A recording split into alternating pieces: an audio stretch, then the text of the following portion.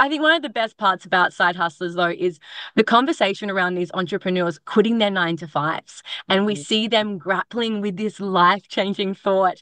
What are the qualities you think people need in order to be a successful entrepreneur and quit those nine to fives?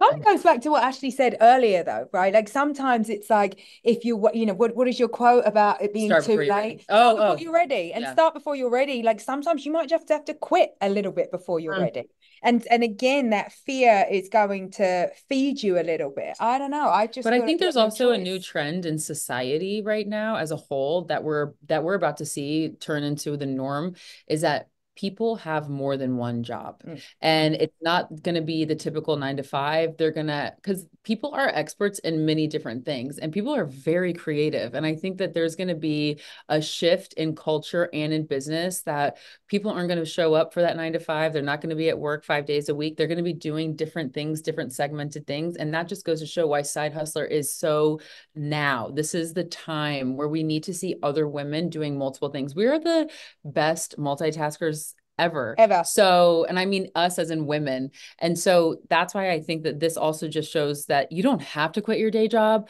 This just is something that we were hoping for that you would be that successful that you had the option to quit your day job.